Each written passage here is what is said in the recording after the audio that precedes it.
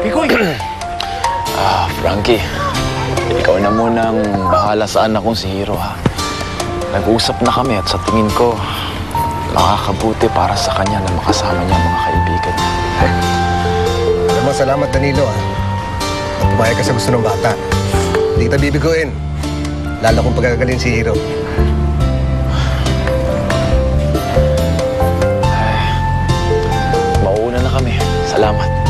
Hiro. Tay, ingat ah. Travel. Frankie.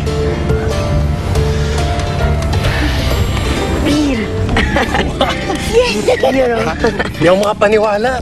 Footballilits ka na. It's official! Ngayon pa lang, kitang-kita ko na naman nanalo tayo. Si Idol Hero, si Paring Sherwin. Tsaka si Maring Tetang. Paring Topa Kids. Si Paring Kulas. Siyempre si Coach Frankie. Pupunta tayo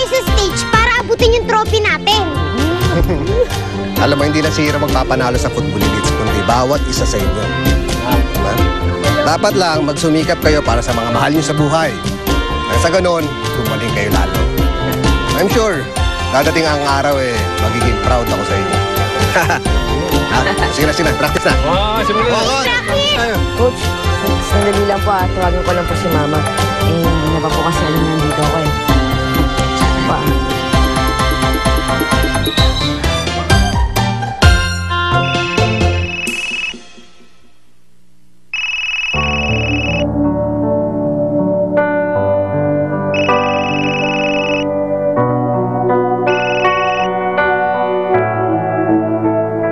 Hello, Ma? Hero, anak. Ma, pumayag na si tate na maging football elite ako. Nandito po ako sa training nila ngayon. Um, mabuti. Ma, punta ka po dito. Pagkatapos ng practice, gusto ko lang po kayo makasama, Ma. Um, busy ako eh.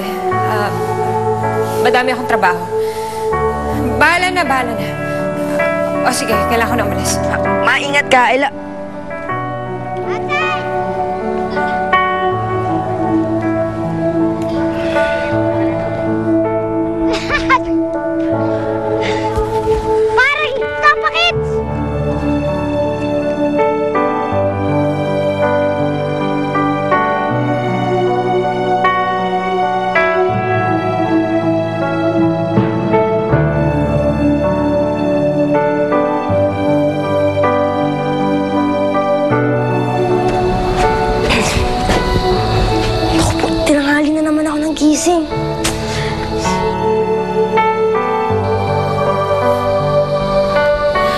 Lord,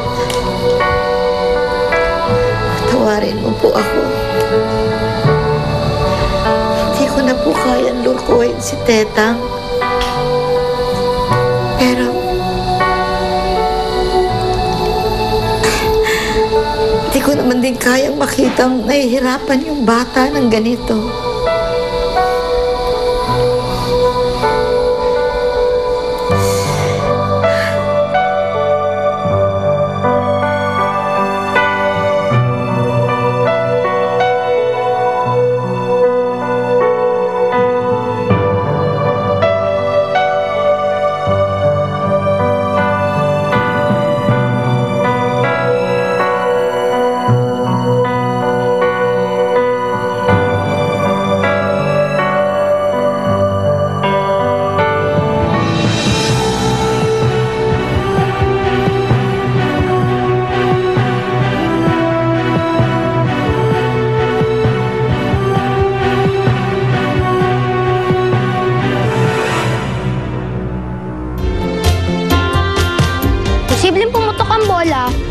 O mag-deflate ito.